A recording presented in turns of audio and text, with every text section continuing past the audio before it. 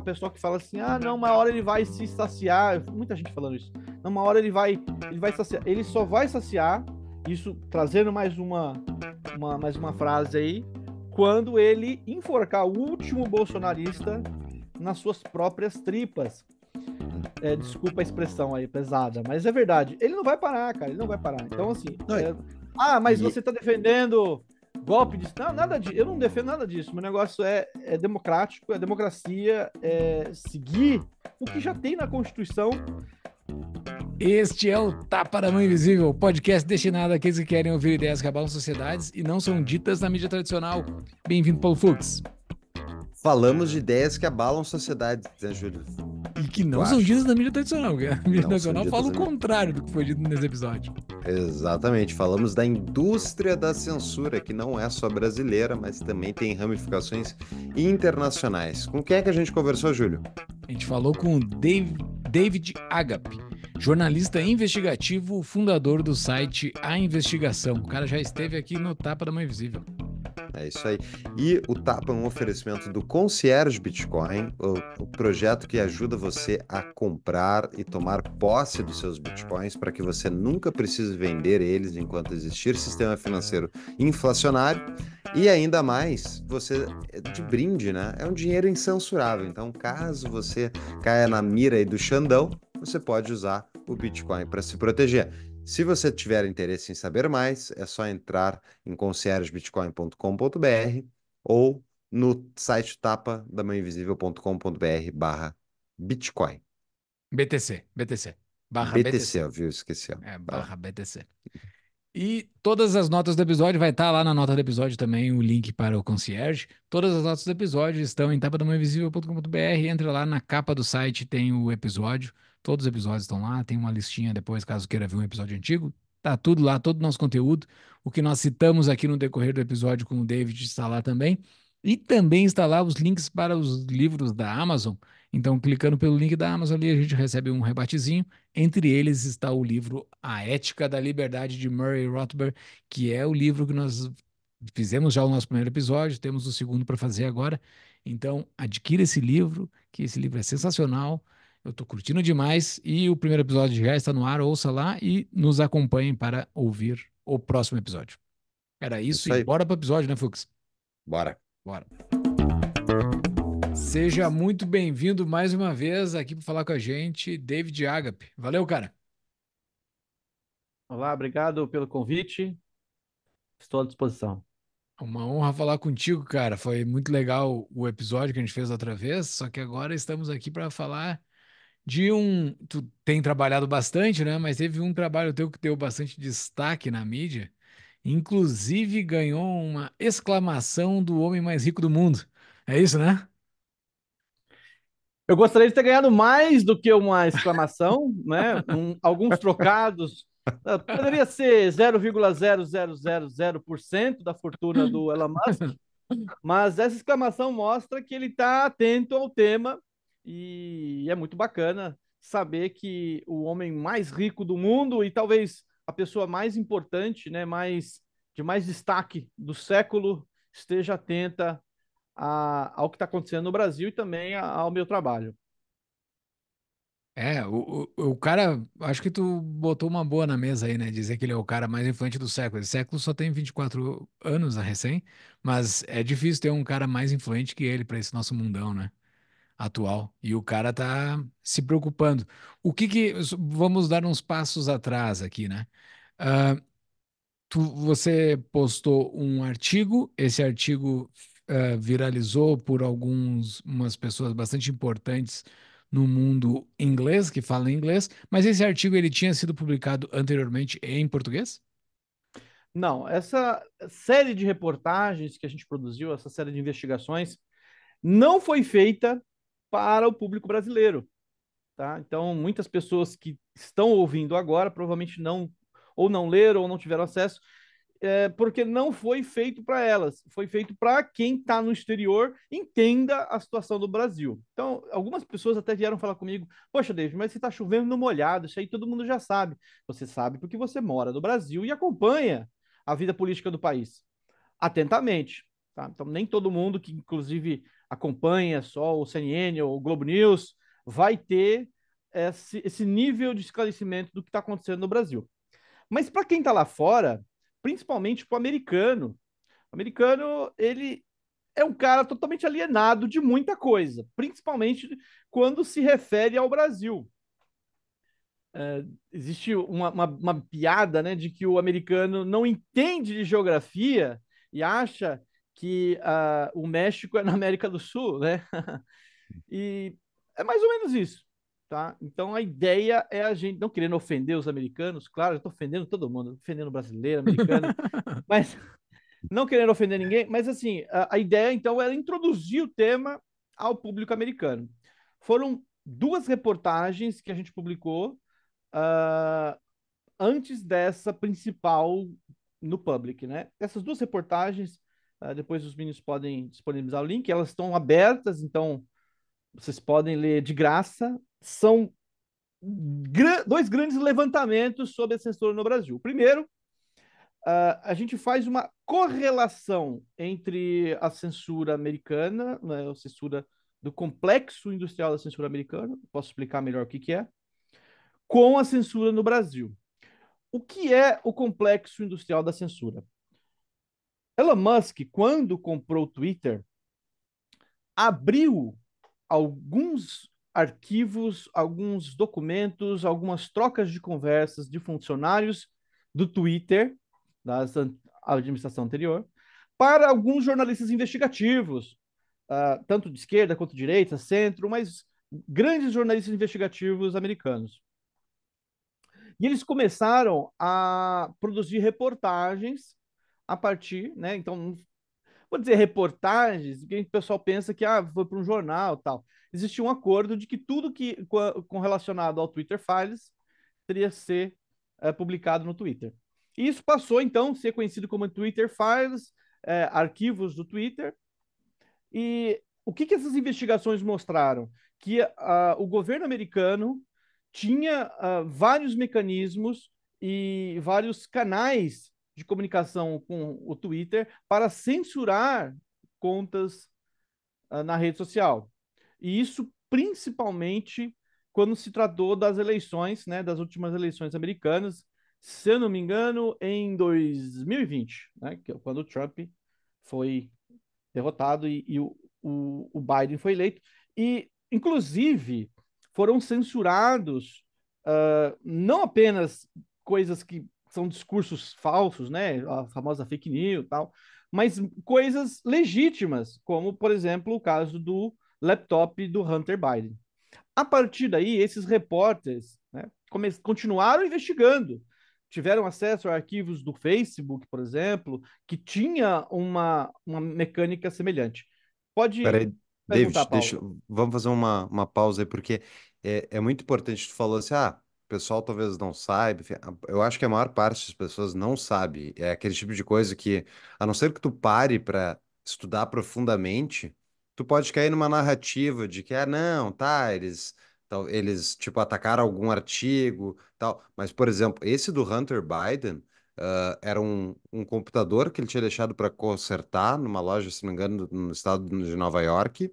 E o dono da loja, ele não foi buscar o computador, e o dono da loja entregou os arquivos do computador para os jornalistas do New York Post, que postaram os arquivos e dentro tinha o Hunter Biden uh, fumando crack, com prostitutas, armas e variadas coisas. E o Hunter Biden, que é o filho do Joe Biden, a gente já citou em outro episódio, ele é um famoso do nada consultor energético da Ucrânia. Ele ganhava uma fortuna para ser esse consultor energético, entre aspas, aí, sendo que ele não tem nenhum histórico, nada relacionado ao assunto. E a suspeita é que ele, na verdade, ele era um, um elo, um elo para pagar propina para o Joe Biden. E daí tem outros níveis de coisas. Então, assim, isso tudo é só dos Estados Unidos, né? Mas o que, que tem a ver com o Brasil? Mas então, David, o que está dizendo é que isso está conectado à censura brasileira. É isso que a gente vai explorar aqui. Exato. Então, quando recebi essa missão de começar a investigar, né, deixa eu só terminar, então, um pouquinho desse panorama histórico. Uh, então, eles continuaram investigando e perceberam que a censura não era só a, o Departamento do Estado americano, né, alguns, depart alguns departamentos do Estado americano, o Deep State, organizações uh, de inteligência, uh, eles perceberam que era muito maior do que o Twitter faz. Eles perceberam que uh, o mecanismo criado para guerra ao terror nos Estados Unidos, que veio depois do 11 de setembro e teve uma, uma, uma movimentação muito grande né, do Deep State, eventualmente voltou voltou-se contra os cidadãos. Então, uh, virou um, um, aparato gigantesco de censura e eles começaram a publicar uma série de reportagens. E aí chegou um momento que eles queriam uh, ampliar ainda mais, percebendo que uh, a, essa censura que está sendo aplicada agora é a nível global. Então, são vários países que estão avançando a censura e de maneira, eh, vamos dizer assim, coordenada. Tá? Quando eu tive acesso, então, quando eu recebi essa missão de publicar, é, de começar a investigar isso, eu pirei. Eu falei, cara, não, não bate muito isso aí, né? Isso aí, pelo amor de Deus, é Departamento de Inteligência americano, isso é coisa de filme, né? Interferindo Peraí, no Brasil. Tu falou duas vezes uma frase, só que eu acho que é importante a gente explorar antes de tu explicar. Recebi essa missão de investigar isso aí. Quem é que tá te pagando? É a, é a contraposição da CIA. Quem é para o pessoal saber Moscou, também. Porque... Moscou, Moscou. É, Moscou. é o Bolsonaro? É. Não. Então, o, o, um desses jornalistas que está trabalhando, denunciando essas, uh, ao longo desses dois anos aí de Twitter Files e, e Complexo Industrial da Censura, é o Michael Schellenberg. Então, essas reportagens eu publiquei junto com ele, no, no, no Substack dele e no site dele. Uh, então, é o Michael que está que está pedindo, né? está é, querendo entender melhor a situação da censura no Brasil. Então, não é, não é Moscou, nem. E a, eu acho que a CIA também não está tão interessada em, em ver isso desvendado. Como então, é que vocês comecei... explicam o, Ma o Michael para um brasileiro? Quem é ele na fila do pão? Por que, que ele é importante? Esse é um bom ponto. Bom, bom é uma pergunta. Vamos lá, não estava preparado para essa pergunta, mas vamos lá. O Fux é... talvez saiba. Talvez eu, eu, eu tenho, eu tenho um Michael... livro dele ali. tá ali. O, o Fala São dele. Francisco? Não, eu tenho o Apocalypse Never. Ele Legal. é para quem não. É, fala tudo, David, depois. Vamos eu... lá. O Michael, o Michael, ele é um. Hoje, né? Ele trabalha como jornalista investigativo mas ele era um cara ligado à pauta ambiental, só que uh, em determinado momento ele começou a perceber que existia uh, muito alarmismo com relação à questão ambiental no mundo. Então ele meio que virou, virou a chave e começou a, a incomodar demais o sistema. Então, hoje ele tem o site dele, né? na realidade é o Substack. Muitos jornalistas independentes americanos utilizam o Substack uh, ah, para publicar suas reportagens. Então, tem o, o Schellenberg, tem o, o Matt, né, o Matthew Taibbi, não sei como pronunciar, não sei se é Taibbi ou Taibbi, mas ok. Taibbi, eu acho. Taibbi. Uhum. Também no Substack, a, a Barry West, que era do The New York Times, e outros jornalistas também investigativos no Substack publicando as suas reportagens sobre o complexo industrial da censura. São o que eu acho hoje é que está um pouco caótico. Tá? Então, para quem vai querer entrar nesse assunto, eu mesmo demorei semanas para conseguir é, engatar no assunto, porque é muita coisa, são vários artigos, e, e às vezes o artigo já começa como se você já soubesse o que está acontecendo. Isso tem, tem que voltar, voltar, voltar, Sim. até você entender. Uma pausa na nossa programação. Você tem uma empresa ou casa com telhado disponível? Então pare de desperdiçar dinheiro à toa. Gere um resultado garantido e livre de imposto de renda com a Sunny Energia Solar. Ao fazer um pré-projeto sem custo e sem compromisso, você sabe a rentabilidade do investimento e a viabilidade de se investir com crédito, usando as próprias placas como garantia. Para vocês terem noção de quão benéfica é a energia solar, a rentabilidade média dos projetos PJs feitos em 2023 foi acima de 20% já para o primeiro ano do investimento. Saiba mais em tapadamãoinvisível.com.br solar ou acesse o QR Code na tela. Voltamos ao episódio. Bom, mas resumindo então para vocês, uh, o complexo industrial da censura, então, são vários órgãos de inteligência que estão atuando ao lado de ONGs para uh, censurar discursos na internet. E isso eventualmente veio para o Brasil. Como? A partir de algumas reuniões que, que o TSE começou a organizar, isso lá no final de 2017 para começo de 2018, ainda na gestão do Gilmar Mendes, no finalzinho da gestão do Gilmar Mendes no TSE, e o começo, e aí depois o, o começo da gestão do Barroso em 2018. Tá? Só para. Uh, só para entender. Ah, perdão, Fux, ah, tá. falei Barroso, mas é Fux. Não é Fux, é Fux. Não, é, é Paulo Fux. Fux. F-U-X lá do, do STF. Fux Piruquinha. É. Ah, é? tá, mas é, só para esclarecer para o pessoal, a gente já falou contigo no, no, outro episódio, a gente já, tu, você já se apresentou, mas é, quem é essa organização que está junto com você, que lhe pediu, que te deu essa missão? Então, exatamente, é o, o Michael Schellenberg, né? Foi no, ele mesmo. No Substack, é isso, exatamente. Está querendo uh, avançar as investigações sobre censura no Brasil e em outros países. Então, está sendo publicado agora artigos sobre a Irlanda, sobre a Austrália, a, agora vai ter sobre a Alemanha. Então, entendendo o, como que a censura está sendo coordenada nos diversos países. Então, por exemplo, projetos de lei semelhantes ao PL das fake news no Brasil. Uh, já tinha um PL, na verdade, o PL das fake news copia uma lei alemã, outros países começam a se inspirar, e é exatamente isso que aconteceu no final de 2017, quando o, TSE estava preocupado com a disseminação de fake news, em específico nas eleições americanas de 2016, Uh, eles não queriam, e é, e é exatamente isso que eles falam, tá? Não queremos que se repita um novo 2016 no Brasil. O que, que aconteceu em 2016? A eleição do Trump.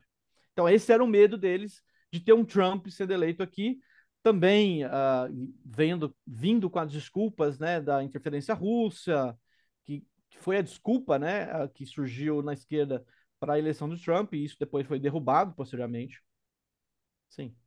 Não, é, isso é importante, né? Porque eles passaram, para quem não acompanha a mídia americana, não sabe, mas a mídia tradicional americana passou anos dizendo que a Rússia havia intervido nas eleições americanas e por isso que o Trump tinha sido eleito. Sendo defendido isso, inclusive, pela Hillary Clinton, que foi a candidata derrotada. Só que isso era uma fake news enorme, enorme, e são essas pessoas que defendem que tem que ter regulação das redes sociais. Tipo, parece que a gente está exagerando aqui ao falar o, o quão mal intencionados são esses agentes. Mas, tipo, isso é a pura verdade. Vai estar, tá, a nota dos episódios vai estar tá cheia dos links para vocês se divertirem e verem quão profundo é esse nível de, de, enfim, não sei nem a expressão correta que não seja um palavrão para falar dessas pessoas. Mas vai lá, David. A gente interrompeu bastante aqui. Estava é, falando então sobre as organizações americanas, né? Quando a gente interrompeu. Quem são essas organizações? Quando eles começaram a fazer essas reuniões uh, no TSE, eram reuniões, no primeiro momento, sigilosas, tá? Então, a previsão para abrir as atas dessas reuniões era só em 2023. Então, lembrando que a gente estava lá no final de 2017, começo de 2018. Então, só depois de uh, quase, não sou bom de conta, é seis anos, mas muitos anos, para poder abrir as, a, as atas, né? Quem participou dessas reuniões? Agentes do FBI, agentes da ABIN e agentes da inteligência do Exército. Então você vê, por que, que o TSE está chamando esses caras para poder tratar sobre controle de, de, de, disseminação de notícias falsas na internet? Uma coisa meio bizarra. E nas reuniões, a, a preocupação, uma das, uma das preocupações iniciais era como uh, censurar, isso bem entre aspas, conteúdo na internet com mais velocidade. Um integrante de uma ONG conhecida no Brasil, a SaferNet, chegou a, a, a trazer, e isso é, é a parte importante dessas primeiras reuniões, ele trouxe uma conceituação já utilizada nos Estados Unidos e outros países para moderação de conteúdo. Então, eles estavam perdidos, eles não, não entendiam muito bem, né, isso o TSE, uh, os ministros, não entendiam muito bem como, o, o que fazer, então eles começaram a namorar a ideia e organizar a casa, trazendo uma conceituação, trazendo uma base teórica para poder aplicar a, a regulação na, por parte do TSE. Então, sem isso, sem a, a, a base teórica dessas organizações estrangeiras, como o Atlantic, eh, Atlantic Council, né, do, com, com seu laboratório uh, de internet, a censura que a gente viu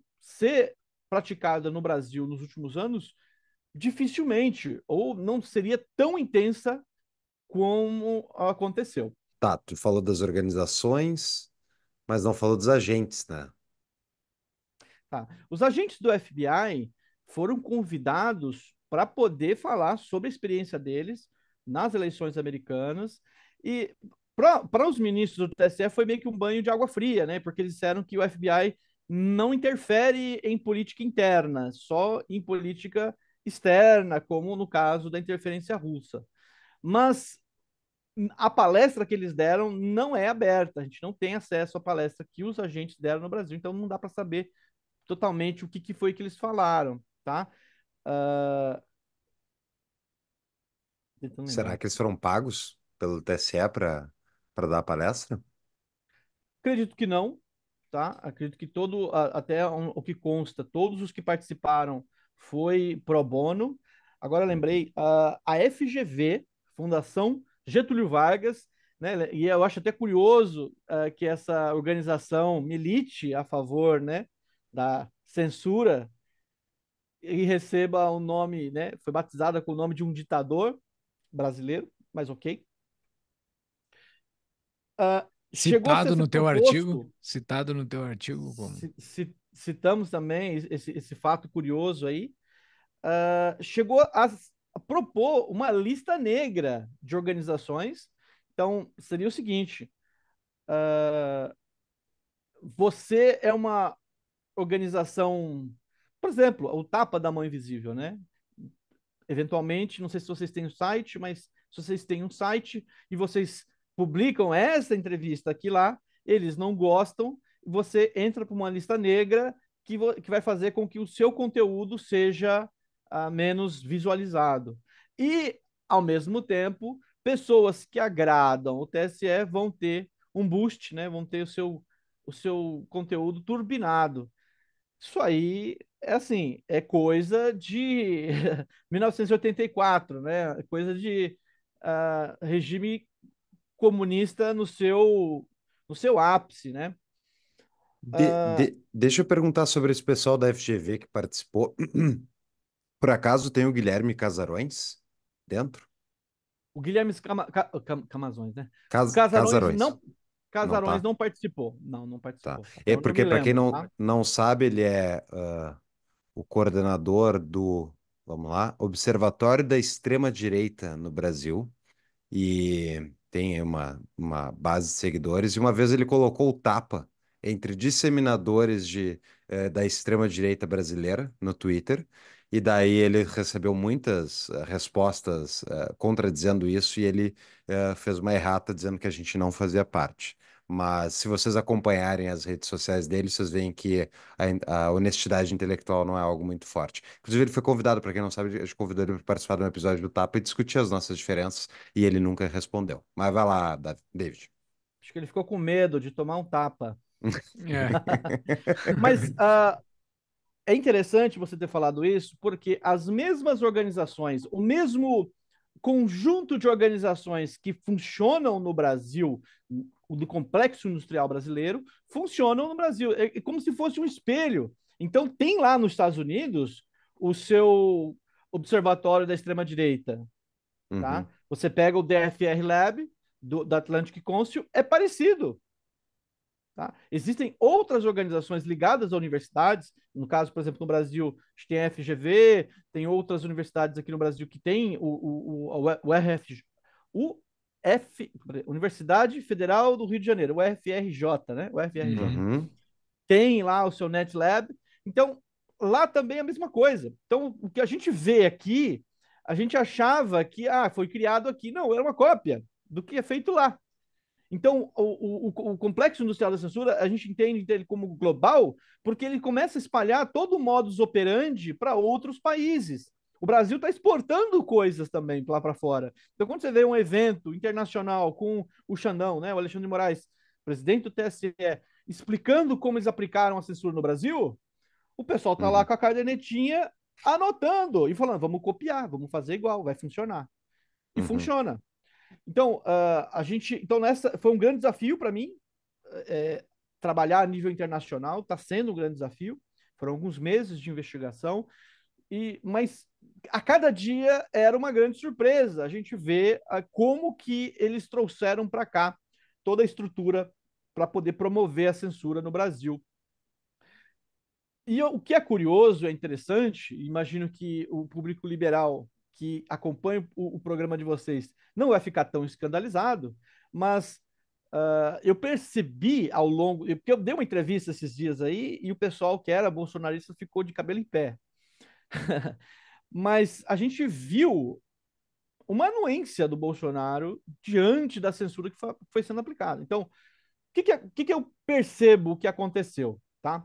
Quando o, a partir dessas primeiras palestras, né, primeiras atas de reuniões, para tentar entender como funcionava o mecanismo lá fora, eles, o TSE foi se preparando para aplicar isso. Então, criou alguns departamentos de inteligência, criou departamentos para combater fake news, e isso foi cada vez mais sendo estruturado, tra trazendo mais poder para o TSE. Uh, na gestão do Fux, foi isso que aconteceu. Na gestão do Barroso, avançou ainda mais, criando de departamentos de inteligência lá dentro, para poder produção de, de dossiês e relatórios. Quando o Alexandre de Moraes entra na, na presidência do TSE, isso já era 2022, já, já durante o período eleitoral, a casa estava pronta.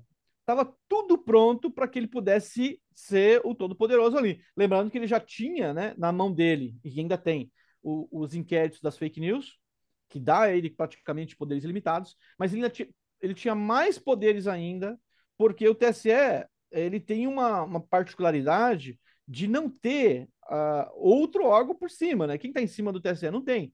Então lá uh, o Alexandre de Moraes é, é o imperador, assim, por assim dizer. Então é, é muito mais difícil haver uma, um compliance, haver um controle externo no TSE. E o que, que o Alexandre de Moraes fez para poder, uh, assim, uh, consolidar o, o, seu poder? Criou um, uma polícia secreta para produção de dossiês. Uh, então, muitas das pessoas que foram censuradas foram censuradas a partir, por exemplo, o próprio Monark foi censurado a partir desse grupo, dessa polícia secreta, é, composta de policiais, uh, de, de diretores de, de polícias, né, é, se não me engano, comandantes de algumas polícias do Brasil, e que responderiam diretamente ao Alexandre de Moraes e não teria controle algum. Não existe quais são as atribuições desses caras. O Alexandre de Moraes, a única coisa que, que foi dito na época do lançamento disso é que isso eles, ele ainda vê, ah, vou ver ainda o que, que quais serão as atribuições e não ficou, ficou assim por cima. Então é amplíssimo o escopo de atuação desses caras. Tu chamou e... de polícia secreta, mas oficialmente qual é o nome desse grupo aí? Ah, não vou lembrar de cabeça. Mas tem um nome, assim, ele é. Ele é... Isso é grupo de trabalho. Ó, se procurar aí Polícia Secreta do Alexandre de Moraes, vai aparecer aí. Se você conseguir. Grupo de aí. Trabalho pela Democracia e o Amor. É, coisa, coisa desse tipo aí. Coisa desse tipo. E agora, o que, que é ele tá pela... tá fazendo? É, tá. Ele anunciou agora, no... segura a piada. Ele, ele, ele, ele, o que, que ele tá fazendo agora?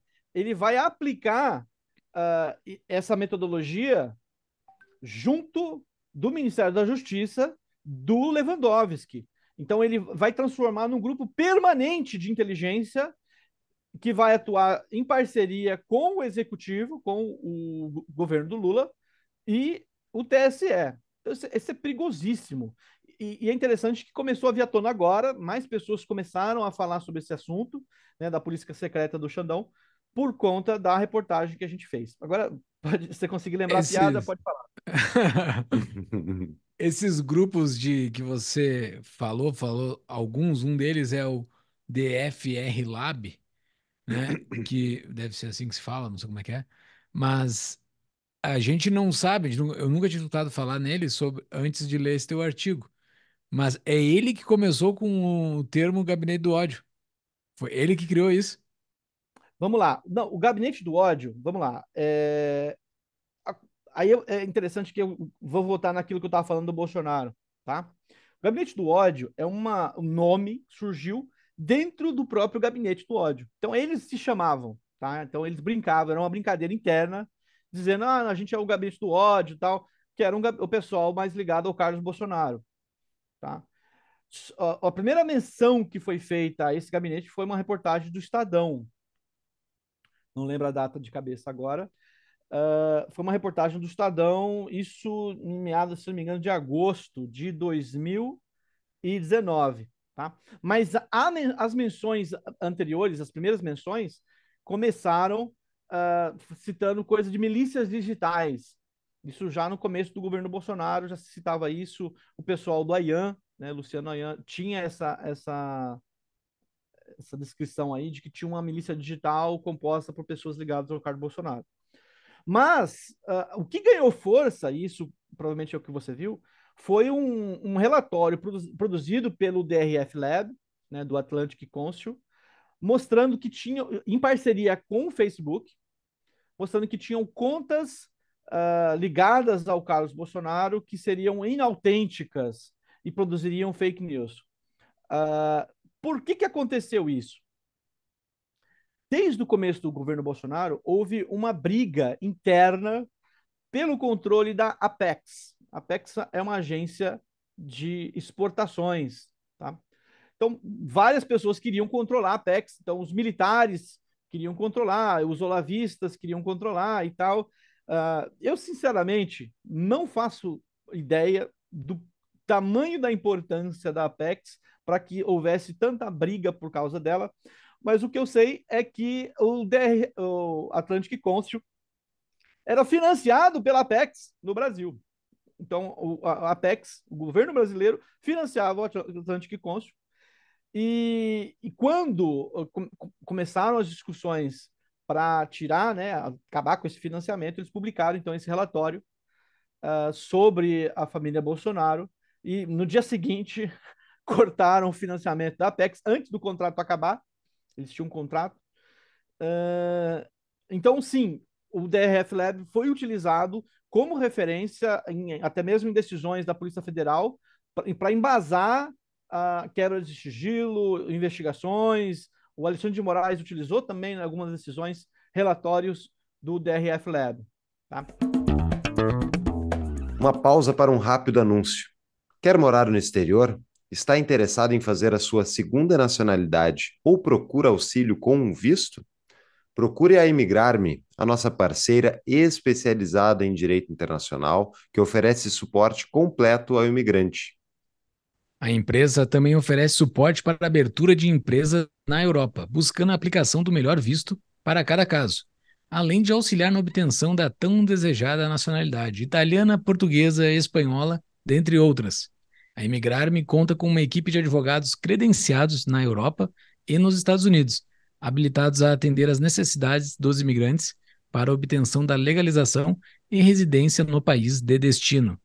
Entre no site do descritivo do episódio, tapadamainvisível.com.br barra emigrar-me, para pegar o WhatsApp da empresa. Ou quem está nos assistindo no YouTube, pode usar esse QR Code que está aparecendo aqui embaixo. Voltamos ao episódio. Uh, aí sobre a questão uh, do Bolsonaro, né? Então, do, no começo do governo Bolsonaro, começou-se uma movimentação grande para aplicar, né, para instaurar a CPI da Lava Toga. Não sei se vocês acompanharam. Houve durante, uh, logo no começo do governo, uma movimentação muito grande. Mas qual que é o contexto disso, tá? O impeachment da Dilma foi tido como uma tentativa de barrar a Lava Jato. Você vê naquele áudio do Romero Jucá falando, né? Vamos estancar a sangria num grande acordo nacional com o Supremo, com tudo. Não, é, houve o impeachment da Dilma, né, mesmo que ela não tenha perdido os direitos políticos, né, por conta daquela manobra do Lewandowski, mas depois disso, eles viram que não conseguiram barrar a Lava Jato. A Lava Jato continuou. Depois, o governo Bolsonaro, a eleição de Bolsonaro foi tido como um, uma, assim, eles acharam que poderiam barrar, né, continuar, assim, que, que o governo ia, ia, ia saciar a sede do pessoal se o Bolsonaro foi eleito. Não aconteceu isso. Quando começa o governo Bolsonaro, eles começam com o Lava-Toga. Lava-Toga trazia muitas coisas que estão sendo discutidas agora e já foi. Né? Por exemplo, a questão de a decisão de ministros em, uh, em clientes de parentes. Né? Então você vê agora a esposa do Toffoli e tal, que atende aí uma empresa que, que ele perdoou a dívida. E hoje os ministros já autorizaram, né? Então já pacificaram isso, então não tem problema nenhum. Só que na época isso ainda era um escândalo, entre outras coisas, né? Como o Instituto é, de Direito uh, do Gilmar Mendes, né? O IDP, que tinha algum recebia dinheiro de empresas investigadas e tal. Tudo muito assim, muito sujo, né? E chegou nos ministros né? Ah, e eles começaram, houve uma investigação da Receita Federal, eles fizeram uma filtragem, então pegaram várias pessoas ligadas a, a, a autoridades, né? Pessoas ligadas à administração pública, fizeram uma filtragem de recursos suspeitos e chegaram numa lista bem curta de umas cento e poucas pessoas, incluindo familiares, né, esposas de ministros houve uma movimentação gigantesca desses ministros contra isso, né? Principalmente o Gilmar Mendes. Ele ficou, o cara ficou doido. E aí então surgiu a iniciativa da Lava Toga. Quem que vocês podem ver a lista de pessoas que não votaram, né, de que estavam fora da lista? PT, PSOL. Lembrando que o Lula estava preso na época. Então por que que eles livraram a cara do Lula? Ou, aliás, por que que o Lula uh, os, os, militantes do Lula, né, os políticos ligados ao PT, PT, PSOL e, e partidos semelhantes, não votaram a favor da Lava Toga, sendo que o Lula estava preso. Flávio Bolsonaro, inclusive, foi totalmente contra a Lava Toga. Ele dizia que isso traria desestabilização para o governo. E então mataram, mataram a Lava Toga. Aí o nosso ministro Dias Toffoli institui um inquérito chamado Inquérito das Fake News. Contra quem? Isso o pessoal às vezes acaba confundindo as coisas. O inquérito das fake news não foi contra os bolsonaristas. Foi instaurado para pegar os lavajatistas, uhum. procuradores, gente ligado a Lava Jato. Não era para bolsonaristas. Só começou a perseguir bolsonaristas quase um ano depois. Se não me engano, até mais. Mais de um ano depois. Começou com a 2000. capa da Cruzoé, aquela? Começou com a capa. Meu... Amigo, amigo do meu pai. Na realidade, o que começou foi um artigo publicado na, no Antagonista por um procurador chamado O Mais Novo Golpe à Lava Jato. Então, uh, você vê que o Bolsonaro, nesse primeiro momento, falou: olha, não vou mexer com o Supremo, deixa eles lá, eu vou fazer meu trabalho aqui, ele faz o dele, vamos fazer um grande acordo de paz. E só que eventualmente, quando veio a pandemia, esse acordo foi quebrado. O, o Supremo Tribunal Federal votou a favor de que os estados e os municípios teriam autonomia para poder gerenciar a pandemia. E, e, aí começaram algumas ações do Supremo uh, que foram contra o Bolsonaro, né? E o que culminou em tudo foi o caso do diretor da PF, né? O o nosso amigo Ramagem foi impedido de assumir com a justificativa de que havia um conflito de interesses ali do Bolsonaro. Quem assumiu tá. foi o Disney Rossé. Isso é importante, porque quem assumiu foi o Disney Rossé. Quem que é Disney Rossé hoje? É o principal responsável pela inteligência no TSE. Hum. O, Não, o mas- Alexandre de. Mas peraí, você está falando que o STF julgou contra conflito de interesse. Isso não faz nenhum sentido. A coisa que eles Nada fazem é ter conflito de interesse. aí. Mas Eles, tá, vai lá. O, o cara é da, o cara que era da Polícia Federal foi agora pro, pra, pro TSE, é isso? Exatamente. Então, muita gente. ah, o TSE virou um. Não sei como usar uma palavra Guarda-chuva. Um guarda-chuva, Guarda-chuva. um, um, um, escape, né? Então, o cara não tá legal na PF, o cara puxa para o TSE para trabalhar com ele. Tá? Uhum. Geralmente, pessoas que não agradavam muito o Jair Bolsonaro. Ah, então, o Alexandre de Moraes impede a posse do Ramage e coloca o Disney José no, no comando da PF. Tá? Isso aí foi a gota d'água. E começaram uma ala bolsonarista mais radical, inclusive eu nem chamaria eles de bolsonaristas, começaram a fazer algumas besteiras, né? Vocês, é notório al- alguns desses caras. Eu ainda hei de investigar isso mais atentamente ah, começaram a fazer ameaças, né? Então você tem o Roberto Jefferson tirando foto com arma, ameaçando o Xandão, Sarah Winter tacando bomba em cima lá do. Tacando, tacando fogos, né? Na realidade, tacando fogos lá no TSE, criando aquele grupo, os 300 de Brasília, que na realidade não passava de meia dúzia de gato pingado, 300 era só o nome. Uhum. Você pensa, não, são 300 pessoas, né? Não, são 300. São 15 caras lá, dois. Enfim, ah, isso começou uma queda de braço, mas na realidade só piorava a situação. Isso dava mais desculpas, dava subterfúgios para que eles aplicassem censura ainda mais. Então, o, o que, que, aconte o que, que acontece diante disso tudo? E quando eu me- fui tentar explicar para os gringos, né, para eles entenderem o que estava acontecendo, eu falei: olha, é o seguinte, não, é, não há problema de, de o TSE ou o STF ah, aplicar sanções nesses caras, né? De que a polícia investigasse. O, o Daniel Silveira, por exemplo, que ameaçou, chegou a fazer ameaça tal. Eu, eu, eu, eu, pessoalmente não, não vejo problema. O problema é que o devido processo legal não foi seguido. Então, a partir do momento que falou, olha, não, eles são bolsonaristas, então qualquer coisa pode ser feita contra eles. Inclusive, sei lá, isso começa a extrapolar. Fala, não, bolsonarista, eu, eu costumo falar isso, né? Bolsonarista não é gente, como eles não são gente, a gente pode até fuzilá-los.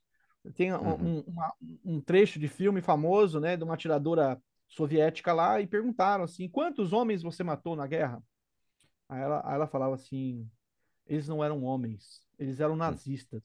Então, assim, Uhum. se o cara é nazista, e o nazista falava a mesma coisa, né? Ah, se você não, você não é gente, você é judeu. Então, não importa, eu posso matar e fazer o que eu quiser com você. Qu- Quando a gente começa a, a seguir essa linha de pensamento, Satanás começa a pular de alegria no inferno, né? E começa a tentar cada vez mais a, a mente da pessoa. E no caso do Alexandre de Moraes, ele já vinha com histórico problemático. Ele é um cara truculento, sempre, sempre foi truculento, desde a época de secretário de, de Ju- Justiça em São Paulo, é, secretário ah, de Segurança em São Paulo, e quando ele, ele ganha todos esses poderes, você, né, você conhece aquela história também de que você só conhece uma pessoa quando você dá poder para ela. E ele se mostrou um, um supremo tirano, né? E ele não vai parar. O pessoal que fala assim: ah, não, uma hora ele vai se saciar. Muita gente falando isso. Não, uma hora ele vai, ele vai saciar. Ele só vai saciar, isso trazendo mais uma, uma, mais uma frase aí, quando ele enforcar o último bolsonarista nas suas próprias tripas. Hum. É, desculpa a expressão aí pesada, mas é verdade. Ele não vai parar, cara. Ele não vai parar. Então, assim, é, ah, mas e- você está defendendo golpe de não, nada. Eu não defendo nada disso. Meu negócio é, é democrático, é democracia, é seguir o que já tem na Constituição e, e que se, se todo mundo tivesse fazendo o seu papel, a gente não tava nessa situação. Mas Uma pausa na nossa programação. Você, empresário, precisa de um parceiro para tomar de decisões financeiras de sua empresa? Eu, o Júlio, aqui do Tapa, estou disponível para trabalhar com você para suas tomadas de decisões. Possibilito que você foque no seu negócio enquanto a minha empresa, a Executivo Financeiro, foca no seu financeiro estratégico, utilizando das melhores práticas de mercado e com decisões baseadas em fatos e realidades da sua empresa. Envie um e-mail diretamente para mim em julio@executivofinanceiro.com.br ou acesse esse QR Code que está aparecendo aqui embaixo e vamos marcar uma conversa de uma hora para que você entenda a minha metodologia de trabalho e para que eu possa entender a realidade da sua empresa. Voltamos ao episódio. Bom, Pode mas é, sobre ele parar, sobre o Alexandre de Moraes parar, eu, eu até pensei em um momento que ele sofreria mais uh, revolta popular e tal, mas a população parece meio anestesiada. E daí tu lembra para qualquer ditador, sempre olha, o ditador, ele- a gente já falou disso em algum episódio, ele tá num, ele fica num problema enorme de uma vez assumida a ditadura, de como é que tu sai, porque tu mandou tanta gente para, sabe, para guilhotina, né? No caso brasileiro ainda não, mas tipo, tu, tu tem muito inimigo, então se tu sai fora do poder, tu vai para para guilhotina. Então vira um problema que tu tem que continuar até tu terminar todos os teus inimigos. Só que eles são meio intermináveis num país de 200, e 200 milhões de pessoas, né? Uh, mas, David, antes da gente. Até tem bastante coisa aí para a gente abrir, mas essa ligação internacional tu colocou aqui, uh, tu colocou na tua matéria. Por que, que é importante que as pessoas fora do Brasil enxerguem o que está acontecendo? Legal, importante. Bom, é importante primeiro por causa da pressão né, a, que pode haver dos, dos, dos, órgãos de direitos humanos. Então, isso numa pressão global. global. Ah, é importante que as pessoas enxerguem o que está acontecendo no Brasil, também para que elas possam agir nos próprios países, entender uh, como que o complexo da censura está agindo nos países dela. Então, isso, como eu disse, é global, ele funciona de maneira concomitante, olha só, ao mesmo tempo em vários lugares. Então, uh, isso também. E para a gente é importante que lá fora, pessoas de destaque, principalmente, uh, estejam cientes do que está acontecendo no Brasil. Até mesmo porque uh, o que vai lá para fora é distorcido. Né? você pega, por exemplo, se o cara que está acompanhando. o cara que acompanha a CNN americana a CNN, a CNN americana, ela reporta o Brasil a partir da CNN brasileira. Para quem acompanha a CNN, você vai ver que tem um viés. Ou, se ele acompanha a partir da Globo News. Pronto. O governo do Lula é o melhor de todos os tempos, está todo mundo bem, não tem ninguém passando fome, é uma maravilha. Então, assim, a, a gente, a ideia é furar a bolha, é atingir uh, uh, pessoas lá fora que possam também levantar suas vozes contra a censura uh, de maneira global e também especificamente no Brasil. E, o, e lá fora, e o Moraes, ao fazer a abertura do ano legislativo agora no TSE, nessa semana que está gravando, ele, uh, ele defendeu ele defendeu que o Congresso fizesse a regulação das mídias sociais, mas ele falou que eles já iam fazer no TSE, já iria fazer. Tipo, não é opcional, o TSE vai agir nas próximas eleições uh, não ficou muito claro como seria essa ação, mas ele defendeu que 46 países, se não me engano é esse o número, ao redor do mundo já fazem regulação das mídias sociais. Vamos lá, David. Não tem muita fake news aí, as pessoas não estão se utilizando dessa liberdade de poder falar e, e, defender ideias que muitas vezes estão erradas, ou até de defender narrativas. Tipo, não é um problema uh, ter gente propagando fake news por aí, incólume, sem o Estado, sabe, proibir isso? É um grande desafio você combater a notícia falsa, porque na maior parte das vezes, uh, discursos verdadeiros são censurados juntos. Então, uh, e quando você tem um órgão né, que tem poderes para poder censurar, ele, por exemplo, você pega os, o, o, o relatório do TSE com as determinações para os próximos anos, né? Eles publicaram agora no final do ano passado. Você vê que eles querem criar uma polícia, meio que uma polícia de pensamento, tá? Então, a, discursos de ódio. Agora, me fala, o que é um discurso de ódio? Você fala assim, ó, eu odeio acordar cedo. Isso é um discurso de ódio? Depende, depende da pessoa.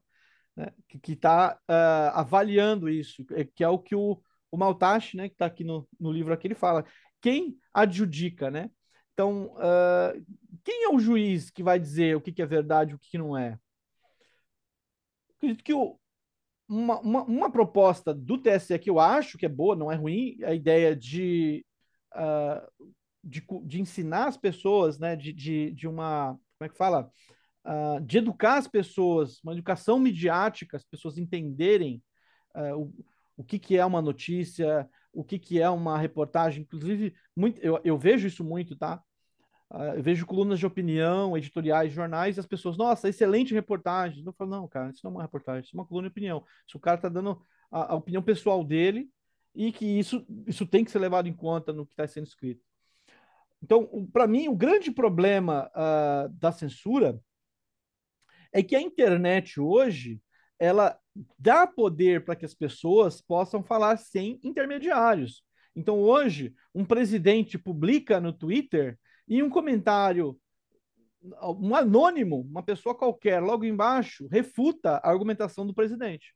Então, a pessoa vai ler e fala: não, realmente, esse cara falou uma besteira. E eles não querem isso. O poder, o establishment, né, establishment o, o, o deep state, não quer que as pessoas tenham esse poder. Isso é um fato. Uh, e aí sempre vai vir a, a desculpa de que é o combate à fake news. Você, você é, eu vejo o Alexandre de Moraes, inclusive, em muitas decisões dele, né, falar que é, é um combate à subversão, né? Então fala de comportamentos subversivos. E olha só o que a gente viu durante o regime militar aqui no Brasil, uma, uma luta contra os chamados comportamentos subversivos, isso agora voltando num período de, supostamente democrático, né? A subversão da ordem.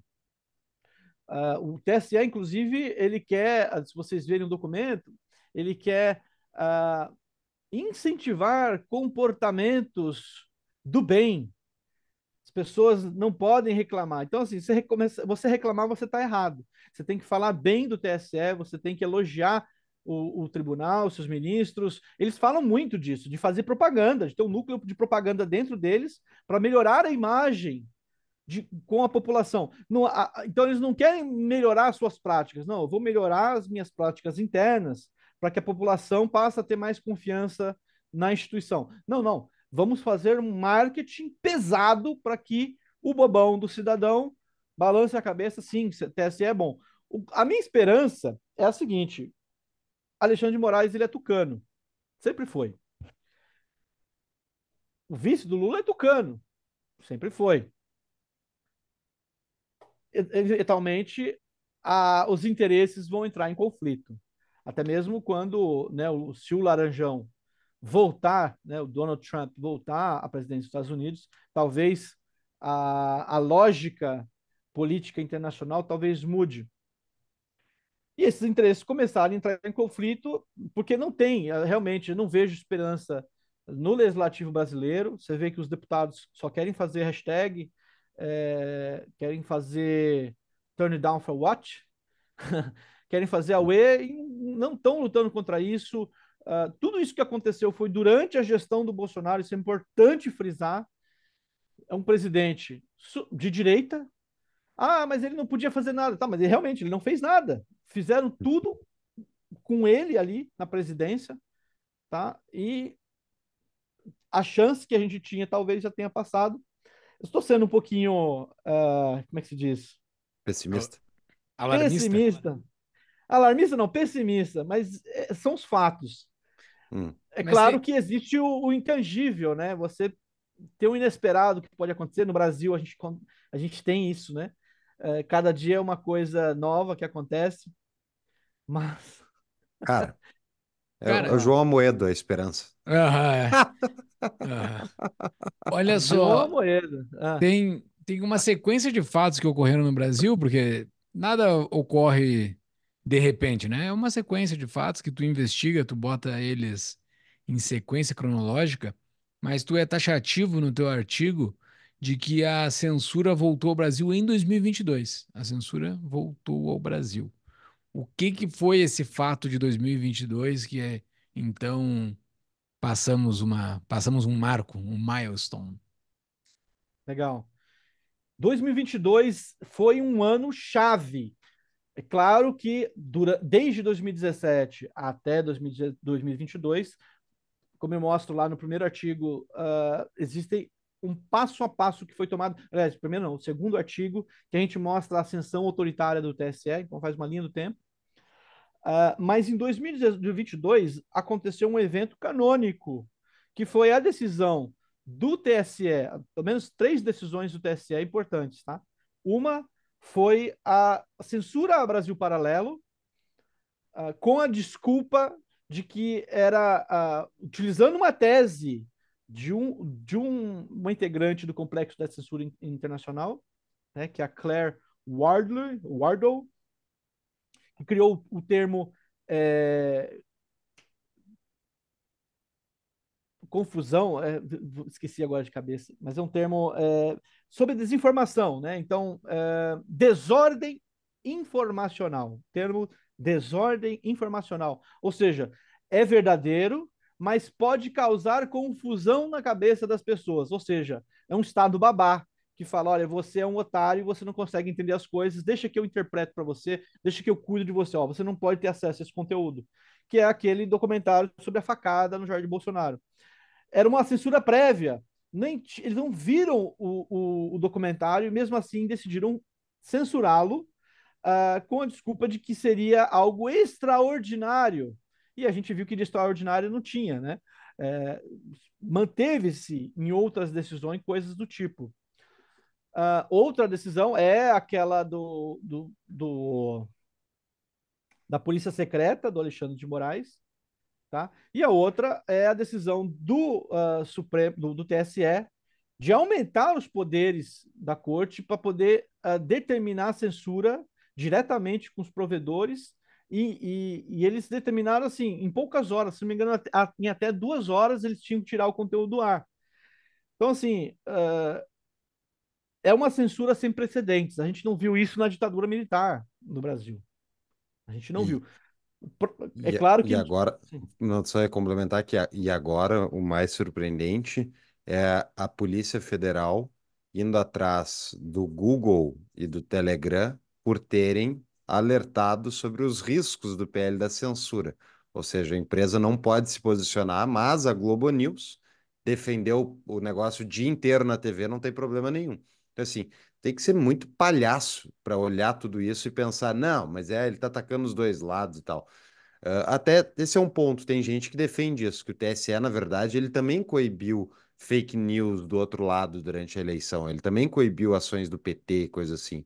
E acho que até teve uma coisa que outra, né, David? Eu não sei se tem alguma coisa que pode complementar sobre isso. Quase nada, tá? Quase nada. O, o petistas, isso eu, eu, eu, eu acompanhei assim de perto o período eleitoral. Você tem o Janones, por exemplo. Janones não foi bloqueado nas redes sociais. Ele, ele teve que apagar algumas publicações, teve, porque ele exagerou. O cara, ele confessa, ele é um produtor de mentiras, confesso. Ninguém, isso na história da humanidade, você não tem, nunca teve um mentiroso que falasse, ó, oh, eu sou mentiroso. Né? Ele não, ele confessa, eu sou mentiroso. E ele não foi censurado. Tá? Ele não foi. Uh, você vê o que aconteceu com vários caras que, que nem mentira contaram, né? Falaram verdade e foram censurados. Uh, então, o, o, o que eu vi nas eleições é que os bolsonaristas, batendo nessa tecla de novo, uh, perderam um pouco o foco, focaram demais na questão da fraude nas urnas e deixaram todo esse mecanismo estava acontecendo, rolar solto. Quando eu falo de polícia secreta do Alexandre de Moraes, muitas pessoas, nossa, não estavam sabendo, mas foi noticiado. Lógico que não sem muito destaque, mas ah, é claro que agora que está sendo aplicado um grupo permanente né, da, da, dessa polícia secreta, isso está é, tendo mais atenção agora, mas na época passou batido, tá? Ah, sobre que eu estava falando sobre a, essas empresas, né? Google, principalmente, tem esse medo, né? Não esse medo, mas é, é, o Google e o Facebook, a Meta, patrocinaram a censura no Brasil e no mundo, tá? Agora, ah, eles são bonzinhos porque então eles estão contra o PL das news. Não, o que eles têm é que eles vão ter que pagar, né? Então existe a previsão, eles têm um grande medo. Eu vou ter que tomar cuidado para não falar demais sobre isso, não, não adiantar demais esse assunto, mas eles têm medo de que, passando essa lei, eles sejam obrigados a pagar por cada artigo compartilhado em rede social. O que eu acho ridículo. Todo jornal precisa da rede social e não o contrário. A rede social não precisa do jornal. Só você comentando e falando nas redes sociais, eles ganham dinheiro. Para que, que eles vão precisar da mídia? Mas ok. E só que, por exemplo, organizações ligadas ao George Soros, que eu cito na reportagem, fazem um lobby pesado em prol do PL das fake news. Você pega, por exemplo, a ONG Nossas, financiada pelo Soros, fazendo campanha. Você tem Sleeping Giants recebendo milhões, tanto de Soros quanto de outras organizações, como a Serra Pilheira, fazendo lobby em prol do PL das fake news. Então, assim, você fazer lobby em prol do PL é ok, é democrático. Você fazer um lobby, você fazer uma, um alerta contra o PL, não, isso aí é. Você está ferindo a democracia. Ridículo isso. Ridículo. É claro que, como eu disse antes, Google e Meta, né? O Telegram talvez nem tanto, mas Google e Meta não são mocinhos da história, eles estão apenas buscando os próprios interesses. Mas assim, a, é, essa ação do Xandão, é, do TSE, né? Não vou falar do Xandão, mas do TSE em si, é assim, absurda. Tá? É absurda, é, fere. A gente faz uma lista, né? Eu queria fazer uma lista gigantesca assim, de todas as vezes que eles feriram a Constituição. É, é algo assim. É... E, e é interessante você ter uma defesa da democracia, estou defendendo a democracia, uh, ferindo a Constituição e, e a própria democracia. Nessas essas instituições, uh, você cita várias, né? Open Society, Ford, Oak Foundation, um monte aqui, Malala, Fundação Bill e Melinda Gates, Apple, tem um monte de coisa. O que, assim, para a pessoa que está caindo no assunto agora, por que que essas empresas, essas fundações o que que elas ganham com isso? Por que que elas fazem isso? Essa é uma ótima pergunta, viu, Júlio? E, sinceramente, é, o que eu posso te dar são especulações, tá? Uh, por que que esses caras é, estão atuando em prol da censura, principalmente em países de terceiro mundo, tá? Por que que o Jorge Soros investe tanto dinheiro em organizações uh, aqui no Brasil, principalmente organizações de esquerda, progressistas, né, militantes. Olha, uma das especulações que, que são feitas é a questão da intrusão mesmo na, na, na, atividade de você influenciar, de você moldar esses países de acordo com o que os caras querem, né? Você tem, assim, pessoas com muito dinheiro é muito dinheiro. O cara, não, a vida toda, ele não tem como gastar esse dinheiro. Ele não tem jeito. Se ele quiser torrar essa grana, ele não vai conseguir. E, e, existe também um pouquinho de uma síndrome de Deus, né? O cara quer ser um Deus ali e quer é, mostrar que ele pode. Isso é uma das teses. A outra são grandes organizações financeiras que forçam essas outras organizações, né, organizações financeiras como a BlackRock, por exemplo, que forçam essas organizações a, a, a fazer essa interferência. Eu, pessoalmente, eu acho que essa resposta eu vou dar uh, para vocês talvez no final da minha carreira. Tá? Acho que talvez eu consiga fazer uma síntese de tudo que eu vi uh, a partir disso. Então, não, não vou ser leviano e dizer que eu tenho a resposta hoje, por que, que, por que, que essas ONGs aí uh, tentam gastam tanto dinheiro para poder uh, se intrometer aqui na, na vida nacional, né? Eu acho que é uma questão ideológica mesmo. Eles realmente têm posições ideológicas distintas e querem que um país seja mais perto do que eles acreditam. Tem dinheiro para isso. Tu coloca também, tem algumas organizações brasileiras envolvidas, né? Tu até cita que o, o Lehman, e a Lehman Foundation financia. O que exatamente eles financiam aqui no Brasil que vai nesse sentido? Porque eles financiam muita coisa no Brasil, de direita e esquerda, inclusive. Bom, vamos lá. O Lema, ele tem, inclusive, uma briga com o pessoal de esquerda aí, ligada à educação. Inclusive, Uhum. fizeram, uh, esqueci o nome do congresso agora, o, con- esqueci o nome do congresso, ligado à educação agora, para fazer as diretrizes da educação no Brasil. E eles cantaram, né? O pessoal lá entoou cânticos de fora Lema. O Lema tem organizações uh, ligadas a, ao lobby da educação no Brasil e, e, e, organizações que estão ganhando dinheiro do governo Lula agora. Então eles querem livrar o Lema disso. Bom, o Lema, uma das organizações criadas aí do, do Complexo da Censura Internacional é a Liga Anti...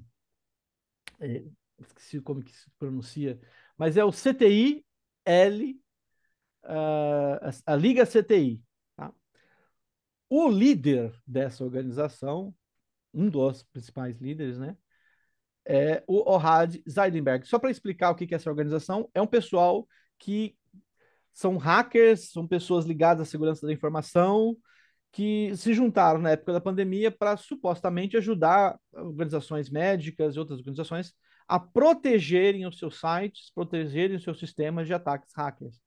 E, eventualmente, esses caras começaram a fazer caça a conteúdo desinformativo nas redes sociais e começaram a ter contratos com o governo americano, organizações de inteligência e tal. E começaram a promover censura. Esse cara, uh, o Ahad Zeidenberg, que é ex-Mossad, trabalha, ele é chefe de segurança de, de informação na Abimbev, do Lema, né, que o Lema é um dos, dos grandes sócios. Então, assim, uh, por que que esse cara que é um cabeça, é, um, é uma das grandes cabeças dentro dessa, da, da Bimbev, também trabalha promovendo censura nas redes sociais. Uh, o Lema, é claro, ele não, não é um Jorge, ele quer ser o Jorge Soros do Brasil, mas não chega perto, até mesmo porque a, a, fortuna dele não é tão grande. Quando a gente coloca em dólar, né, então ah, o cara tem 40 bilhões de reais. Quando a gente coloca em dólar, ele vai para o final da fila dos bilionários do mundo. Uh, não menosprezando você, o, o, o, Lema, claro, se você estiver ouvindo aqui. Mas não, não tá, não tá. você ainda precisa comer um pouquinho de arroz com feijão para se equiparar a esses caras. Um cara que eu acho interessante é o, é o próprio Musk, né? Tá batendo de frente com o Soros uh, e com o pessoal lá da Disney. Você vê agora a publicação que ele fez sobre a Disney, sobre uh, a necessidade que eles têm de diversidade lá dentro. E é interessante uh, que o caso da Disney, só mudando um pouquinho de assunto, parece que eles estão forçados a isso, né? É claro que tem várias declarações de, de herdeiros da Disney dizendo que, que não gostam de dinheiro e tal. Eu, é claro, se eles tivessem, se estiverem ouvindo aqui, podem doar para mim, eu aceito. Mas uh, o cara odeia a fortuna da família, odeia o império criado por eles, parece que quer destruir o negócio. Mas, por outro lado, parece que eles estão sendo forçados a isso, né? É, você vê que o negócio está ladeira abaixo e, enfim, é aquela tese que está falando de grandes organizações como a BlackRock que, que estariam forçando essas empresas a promoverem esse progressismo.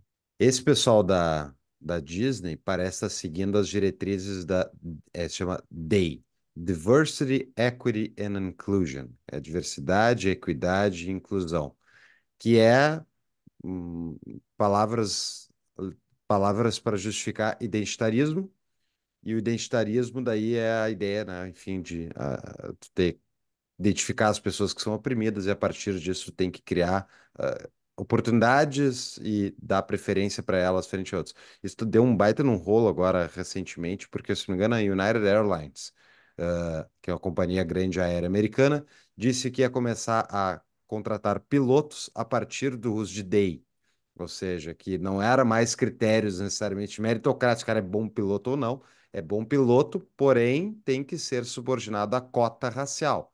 E daí um, os conservadores americanos, liberais americanos, ficaram, enfim, de cabelo em pé. Os passageiros que... ficaram de cabelo em pé. Né? E aí que tá a questão, os passageiros deveriam ficar de cabelo em pé, mas isso tá, tá acontecendo essa semana. Tem o, o, James Lindsay, que a gente já citou aqui outra vez, é, ele, ele fala que esse pessoal do DEI, esses identitários, tem muito, uma origem muito forte marxista.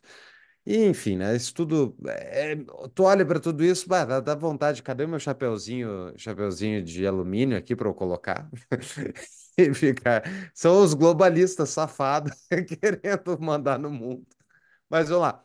Tem alguma outra explicação, David, que não são de organizações globais querendo ditar os rumos globais a partir de, uh, de narrativas forjadas e selecionadas? Tem alguma outra coisa que está acontecendo aqui que a gente não está vendo?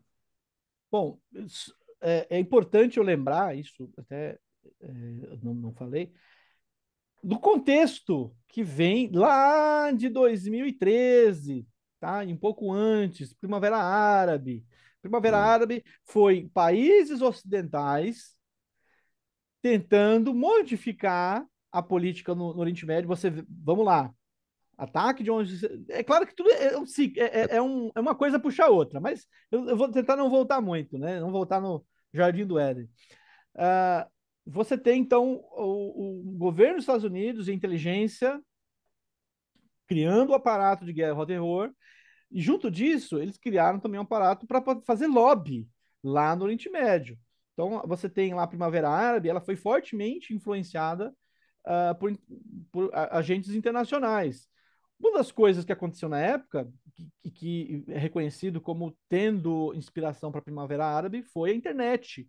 Redes sociais, banda larga, o pessoal começou a se comunicar. E então, uh, isso promoveu, isso uh, permitiu que ocorresse a Primavera Árabe. Só que eles perceberam que não foi exatamente como eles queriam. Então, nos Estados Unidos teve lá o Ocupa Wall Street, tá? mas também teve Gamergate, e toda essa ascensão conservadora e liberal que até então estava meio que adormecida no mundo inteiro, tá? Uh, agenda progressista, enquanto a agenda a, a progressista avançava e, e, se tornou uma coisa um pouco uh, temerosa para algumas pessoas e algumas organizações, uh, eles perceberam que eles não poderiam controlar a internet. Então a ideia era controlar a internet para poder influenciar discursos. Ele falou: não, olha, cara, eu consigo falar com milhões de pessoas ao mesmo tempo, caramba, agora eu vou conseguir influenciar bem as pessoas. Ao contrário, as pessoas começaram a se informar por veículos alternativos, uh, redes sociais, influenciadores. Então, a partir daí, eles começaram a perceber que precisavam voltar a ter o controle da ferramenta. Então, você, como você eh, bem disse, existem várias iniciativas no mundo inteiro para regular a rede social. E o, fundo disso tudo é o mesmo, tá? É evitar eleições de Donald Trump nos países. E você vê que está tendo uma sessão. Então, você tem o Milley, agora aqui na Argentina, você tem na Itália, agora a França, Holanda.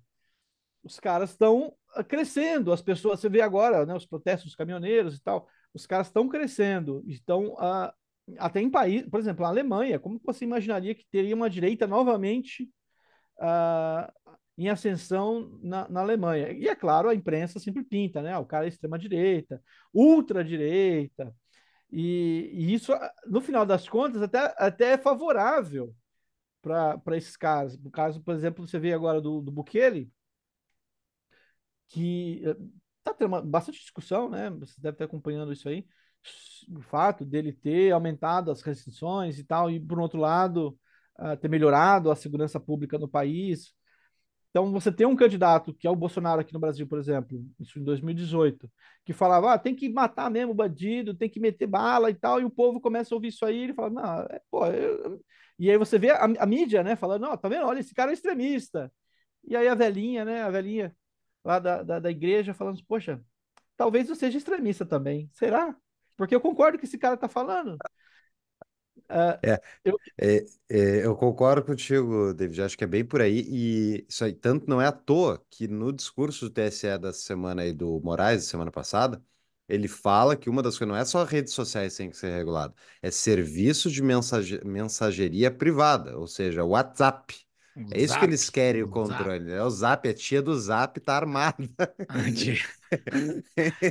Ele Então, quer ter o controle da, da disseminação de informação, inclusive Exato, privada. E é exatamente. o que é curioso é que você não imagina um, um- um controle de cartas, né? Ah, eu vou te mandar uma carta, o cara vai abrir a carta antes, ele vai ler para ver se aquele assunto é, é possível. Ah, não, esse, esse assunto aqui é permitido, pode passar. Não, não, olha, olha, isso aqui que ele está falando é subversivo. Rasga a carta ou, e vai na sua casa trocar uma Uhum. ideia. É que eles é atacam de- o que é tecno- tecno- tecnologicamente viável de atacar, né? Eles atacariam carta se fosse tecnologicamente viável atacar. Eles só não atacam porque eles não conseguem, não, não Não, há é que- abraço. Não tem É importância mais, né? carta, Não, não, né? não, É, mas digamos no tempo carta. das cartas, né? No tempo que se usava cartas, eles não atacavam as cartas porque tu não consegue. Tu precisa de um exército de pessoas só para ler carta. Não, com a tecnologia é bem, é bem mais É fácil. porque ninguém deu a ideia, né? Na época. Alexandre de Moraes não era ministro na época, É, então exato. Era um, imagina. um bebezinho careca. Olha só, o- nós temos os nossos patrões aqui que pagam um pouquinho a mais para fazer perguntas para os nossos convidados. E nós temos a pergunta do Antônio Luiz Calmon Filho. Podemos considerar que a atuação do STF, mais até do que do, o, do que o executivo petista, configura censura efetivamente também em relação ao Congresso? Vamos lá, vamos ver se eu entendi a pergunta. Que a- a- o STF, mais do que o executivo, ele também censura o Congresso, é isso? Isso. Isso. Sim, não, sim. Assim, ah, muitos estão com medo, tá? Ah, Então, parte dessa iniciativa de censura é, é botar medo nas pessoas. Então, por que que a gente não está vendo manifestações como as de 2013 no Brasil? Inclusive, quando eu falei da Primavera Árabe, não citei isso, mas ela se espalhou no mundo inteiro e veio para o Brasil. 2013, né, aquele monte de gente na rua e que não era necessariamente de direita ou de esquerda, ah, isso botou, botou um medo danado dos caras. Isso, 2013 não vai acontecer de novo, tá? Por conta do medo. Ah, muitas pessoas que queriam protestar agora ah, na Paulista, advogados falavam: gente, se você vai, você vai por sua conta e risco, porque você está se expondo demais, tá? Ainda mais agora com os novos serviços, isso a gente pode ter um outro papo sobre isso. Serviços aí de controle ah, de localização, então esse negócio da BIM, First, First Mile e tal, isso aí besteira diante de- do controle que eles têm, eles conseguem saber onde você está. Ah, então, sim, vários parlamentares têm medo, isso eu tenho ouvido, tá? De empresários, de parlamentares, de promotores, falou, David, eu tenho medo do que pode acontecer. Ah, e aí isso acaba censurando, uma, uma, uma autocensura, né?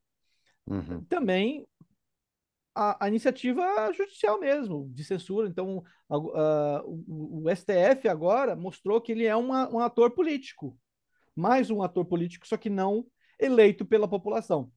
Então, um deputado muitas vezes não quer eh, publi- eh, propor determinada lei, determinada proposição legislativa, porque eh, acredita que isso vai ser derrubado possivelmente no Supremo. Então, o cara acaba também se autocensurando. E vários outros casos. O caso do Daniel Silveira, por exemplo, a gente vê né, que ele está preso, não sei se está preso, mas sei lá, mas a prisão dele foi irregular, apesar, como eu disse, que seria regular se ele tivesse sido punido de maneira ah, satisfatória ao que ele fez, né, de acordo com a lei, ah, entre outras pessoas também. Mas sim, há, há censura sim também no Congresso, tá? Tem uma pergunta do Frian Capstan aqui. David, com Drex, Gabriel e um judiciário kafkaniano, onde é seguro ser um dissidente do Brasil em 1984? Esse Gabriel aí no Fora do É, eu não Brasil. entendi o Gabriel esse. é uma Mas vai lá. piada. É, eu boiei na piada do Gabriel, mas olha lá, o 84 eu concordo. E aí, Cê- David? cê- faz de novo a pergunta que talvez eu entenda. Vai lá. David, com Drex, Gabriel e um judiciário kafkaniano, onde é seguro ser um dissidente no Brasil em 1984? Acho que o corretor botou, o corretor do celular dele escreveu Gabriel, deveria ser outra palavra. Bom, fora do Brasil, né, meu amigo? A melhor saída do, pra, para o Brasil é o aeroporto. Recomendo o de Guarulhos, tá? É um bom aeroporto. Ah, sinceramente, cara, assim, importante destacar duas coisas. Muitas, eu já vi comentários de gente falando assim: é, não tem censura no. Eu vou fazer a vozinha. Não tem censura no Brasil, não. Tá vendo? Você tá comentando na rede social, eu tô comentando em rede social. Eu falou, meu amigo, o seu animal, você não é relevante. Se você fosse reve- relevante e estivesse incomodando, o cara tinha feito algo contra você. Você vê o que, que aconteceu lá com o Luciano Hang, da Van, entre outros caras, ah, até o, o Sintra, né? Que fez um comentário Uhum. na época da eleição, um comentário bem assim, morno com relação à urna eletrônica, o cara foi censurado. Se você é alguém, é o Marco Sintra, né? Se você Isso. for alguém relevante no debate público, você vai ser censurado. Monarque, o que, que o Monarque falou, pelo amor de Deus? Ele disse: Olha, eu tenho simpatia pelas pessoas que estão protestando lá. O que mais que ele falou? Não, acho que ele nem falou Assim, simpatia. Acho que ele nem falou simpatia. é, ele chegou assim, eu simpatizo, mas assim, não que, que ele apoiava, mas ele entendia os motivos das pessoas estarem lá e tal. Por mais que eu não concorde, eu tenho simpatia. Uma coisa do tipo, o que estão fazendo com o Monark é assim, é algo absurdo, porque ele não fez nada. Se fosse, por exemplo, o que o, o, o- a Sarah Winter fez, por exemplo, tal, o Oswaldo Stark, a gente até entende. Mas no caso do, do, do, Monark, ele não fez nada. Nada, nada, nada. Ele nem bolsonarista é, o cara é liberal. E olha só. Então, Não, é assim, bizarro. lá fora, cara, você tem que sair do país. Mas, claro, só se você for alguém relevante é que vai chegar até você. Se você não for ninguém, você vai continuar seguindo sua vida. É claro que você vai ser influenciado de maneira, como é que se diz? Por influência. Então, você, você vai ter, por exemplo, o candidato que você quer votar vai estar censurado, né? O programa de que você assistia, é, o jornalista que você acompanhada foi censurado, tal.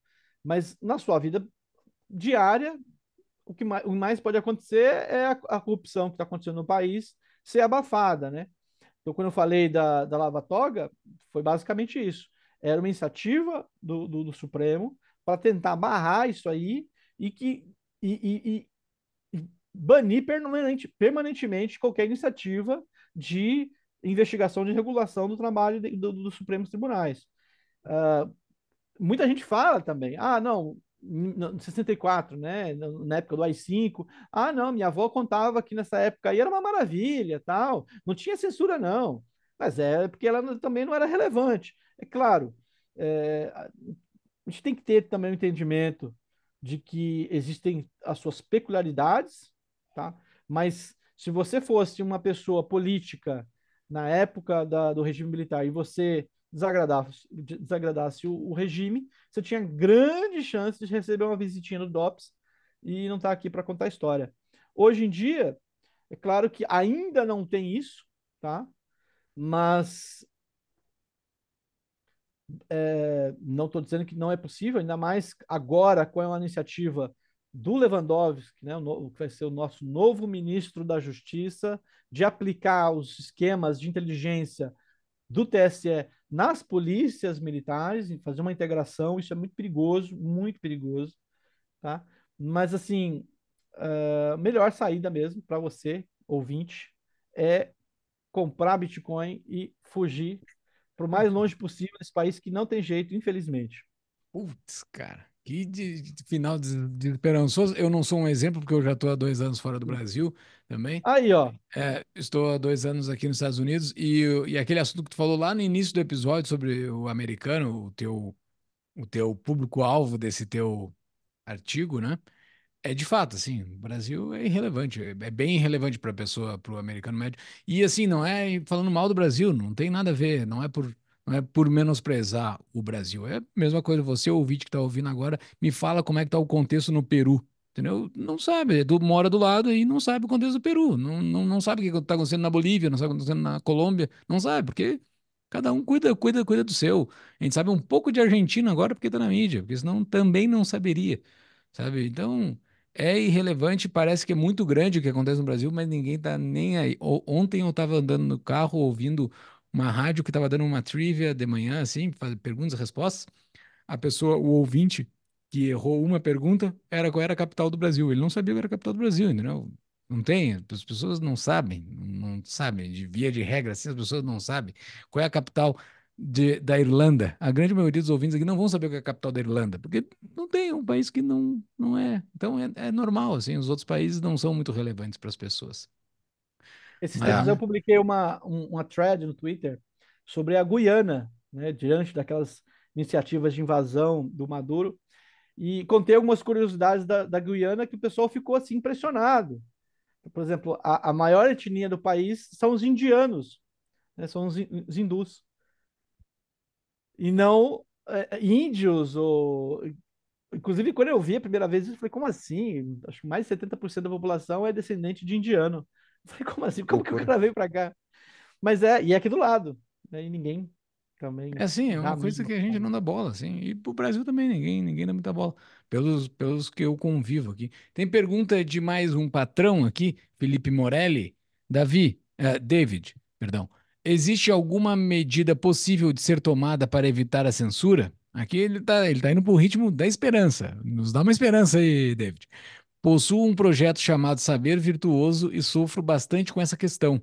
Temos alguns parâmetros de segurança que seguimos para evitar problemas legais, mas sempre sofre- sofremos com shadow ban.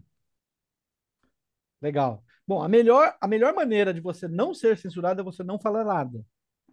Você ficar ca- totalmente calado, você não vai ser censurado, tenho certeza. Mas assim, ah, o que eu tenho aplicado no meu trabalho, ah, até hoje, tá? É ser o mais correto possível. Não passar do ponto, não falar.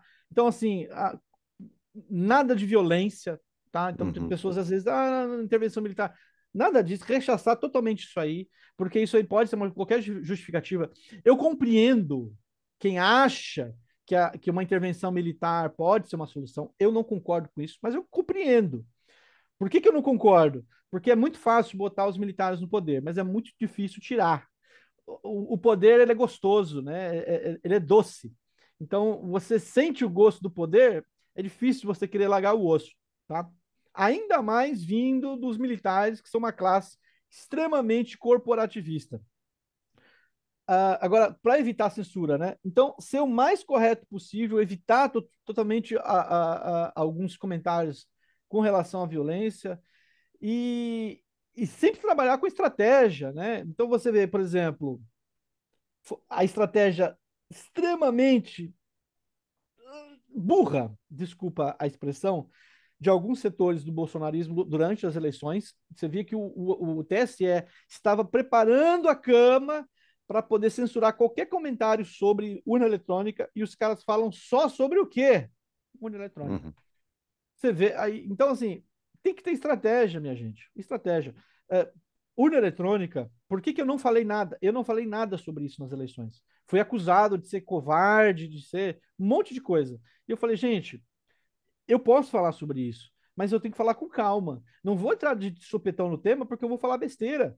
Outra coisa, a gente já está com o processo em andamento. A eleição está rolando. Você vai querer falar sobre urna eletrônica agora? Um dos problemas da direita no Brasil, ela, no Brasil não, no mundo todo, a direita é assim, tá? Tanto liberal quanto conservador, mas principalmente conservador. É muito reativo, né? Então, tem uma iniciativa da esquerda, e o cara vai lá e, e reage àquilo. Só que a esquerda trabalhou aquilo por décadas. Tá por Uhum. décadas trabalhando aquilo nos bastidores, organizando, fazendo congresso, blá blá blá. Aí quando o negócio tá para ser implementado, aí a direita, ai meu Deus, eu vou fazer alguma coisa com relação a isso. E aí já foi, cara. Então, assim, ah, não entrar de supetão nos assuntos, ter estratégia. Eu acho que esse é um ponto. Claro que não vai impedir de você ser censurado, mas pode ajudar a minimizar as chances de, de que isso seja bem sucedido para o outro lado. Deixa eu. Ótimos pontos, David. E eh, deixa eu só complementar, então, para dar um toque de esperança. Sim, eh, você que está ouvindo aí está desesperançoso com o Brasil. Quem disse que tu tem direito a um país decente?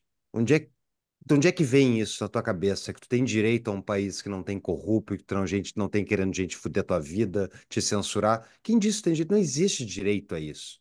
Tu tem, o direito de ser deixado em paz, a gente não é respeitado isso continuamente. Então, assim, se a gente não quer entregar um Brasil que nem a gente recebeu para os nossos filhos, agora é hora de começar a se mexer, entendeu? Porque vai levar décadas esse trabalho. Esse é o ponto principal. Se não parem de terceirizar a responsabilidade. Sim, o Xandão e companhia são uns bandos de pessoas asquerosas, para não dizer outros termos. Mas, tipo, tá, essa é a situação. Essa é a realidade. Tá, tu pode te mudar e tal, mas saiu o Júlio. Se mudou, continua trabalhando para ajudar o Brasil. Porque tem milhões de pessoas que não têm nem acesso ao entendimento disso que está acontecendo e que vão ser só mais uma pessoas aí da, da máquina de moer carne, que é esse sistema jurídico e político brasileiro. Temos que mudar para melhorar esse país. Então, assim, seja de onde estiver, vá fazer alguma coisa, entendeu? Buenas. David. Posso complementar? Claro. Exatamente. É, nós temos um país pobre e ignorante, uh, mas rico em cultura, rico em, em, em também em recursos naturais. Né? Uh, o Brasil é um país riquíssimo. Só que temos um país extremamente corrupto, uma estrutura burocrática é, totalmente atrasada. E, e, o, que me, o que me dá esperança, se, se eu puder dar esperança para vocês também, é que uh, nada é para sempre e tudo é ciclo. Tá? Uhum. Então, a ideia é que a gente possa nos preparar para que, num futuro, primeiramente, a gente tenha uma infraestrutura, uma estrutura pessoal, né? a gente investir na nossa, uh, na nossa, uh, nossa família, nas nossas relações pessoais, e também a gente atuar em prol do país. Então, por exemplo, uh, eleições de conselhos tutelar, votações né, uh, de plano diretor, quantas pessoas aí vão nas discussões do plano diretor nas sociedades? Começar a se envolver, e isso começou, né? É, é, é um caminho sem volta, esse envolvimento da população, ainda mais com as redes sociais, Uh, não dá para você censurar 100% a população, isso é impossível. Então, se não dá para falar pela internet, a gente fala por carta. Se não dá para falar por carta, a gente arranja outro jeito, a gente vai ainda mais internet, né? Ah, censurou o Telegram, a gente vai para o Signal. Censurou o Signal, a gente vai para um outro aplicativo, a gente cria um aplicativo novo uh, e coloca num paraíso fiscal aí, some e acabou. Que, por exemplo, a Blaze, né? A Blaze está lá, cadê quem é o dono da Blaze? Quem é o dono do aplicativo que vai ser criado aí para ser trocar mensagem criptografada sem acesso do TSE. Mas uh, a ideia principal é que a gente está totalmente ferrado, mas a gente uh, pode tentar trabalhar para melhorar isso. Eu tenho uma filha, então uh, eu quero um país melhor para ela, mesmo que, que eu saia do Brasil eventualmente, em algum momento, isso não descartei, mas eu quero que o meu país esteja bem, né? Minha casa, minha terra natal. Então, continuarei nesse trabalho, mesmo pessimista, né, como todo mundo percebeu, continuarei trabalhando aí para poder contar o que eles estão fazendo. Agora eu vou trazer reportagens sobre o complexo da censura, mas para o Brasil, então para que o Brasil, o brasileiro entenda, trazendo algumas explicações que eu trouxe para vocês aí, em mais detalhes, sobre o que é o complexo industrial da censura e também como ele atua dentro do Brasil. Ah, vocês dois falaram, eu também quero falar, né? Uh, eu saí do Brasil, como o Fux falou, estou tentando fazer algo pelo Brasil. A minha família mora aí ainda. Não sei se vou ficar aqui para sempre. Talvez um dia eu possa ter que voltar para o Brasil. Meu filho é brasileiro. Eu quero que ele tenha orgulho desse lugar que ele nasceu. Uh, que é legal. O Brasil é legal. Tem um monte de problema. Todo lugar do mundo tem um monte de problema. A gente sabe, a gente sabe que os do Brasil é numa quantidade um pouquinho acima, mas tem, mas tem muita coisa bacana no Brasil. Que esse lugar fique melhor, que seja durante a nossa vida e que a gente pelo menos passe a nossa vida fazendo algo de querendo para melhorar, que nem o Fux falou, né, cara? Daqui a 40 anos, o teu neto vai te perguntar: "Tá, mas daí tu viu tudo isso e tu ficou quieto, entendeu? Tu, tu não vai ser orgulho pro teu neto? Para pelo menos tu ter feito algo, menos, pode não ter resultado nenhum, mas pelo menos tu fez algo para tu contar para alguém que tu fez, entendeu? Tu passou por isso. É tipo o que aconteceu em 64 no Brasil e tudo mais tu pergunta para algum parente teu que estava numa capital na época, pô, cara, tu não fez nada, tu, tu, tu não te entendia o que estava acontecendo, porra, aquilo era errado, sabe? Uh, sei lá, se mexer assim, se mexer, acho que é uma coisa de orgulho para não para botar o nome na história, mas tu como um ser humano, assim, fazer algo de bom para o mundo, né? E, e David, uh, o teu trabalho é sensacional, te agradeço como brasileiro, te agradeço pelo que tu está fazendo pelo nosso país. E quem está te ouvindo aqui, quem é que pode, como é que pode te ajudar? Quem pode, assim, tem, é, tu, tu publica para algum lugar que dá para fazer assinatura? Tu, como é que é? Legal, bom, boa, boa pergunta, viu? Bom, eu adorei a pergunta. Uh, tem o meu site, a investigação. Nosso site a gente tem uma proposta aí de, de reportagens investigativas. Uh, também a gente tem um curso, né? Tem um curso para jornalismo investigativo. Formamos duas turmas agora, estamos indo para a terceira. Uh, então, uma pessoa que queira se tornar jornalista investigativo também, mesmo sem formação na área, uh, do zero ao avançado. Então, a ideia é o cara terminar o curso já está no mesmo nível que eu, ou melhor, de preferência melhor. Uh, já também encaminhando para publicação, para trabalhar em alguns veículos jornalísticos, inclusive uma dessas nossas alunas agora começou a trabalhar num grande jornal, né, uma grande revista no Brasil. Uh, mas o site, a investigação, tem lá um método de apoio, tem três uh, faixas aí de valores de apoio. E quem puder ajudar é ótimo, até mesmo para poder. A gente está trabalhando, operando no negativo ainda, então estamos caminhando aí como, como empresa. É claro que muita coisa tem que ser melhor estruturada dentro do, do negócio, mas a parte de reportagens está tá sendo bem satisfatória para quem apoia e que acompanha bem o trabalho da, da investigação. E a, minha proposta para o site uh, nesse ano é a gente se tornar o principal site de jornalismo investigativo do Brasil. A gente tem alguns concorrentes diretos, né?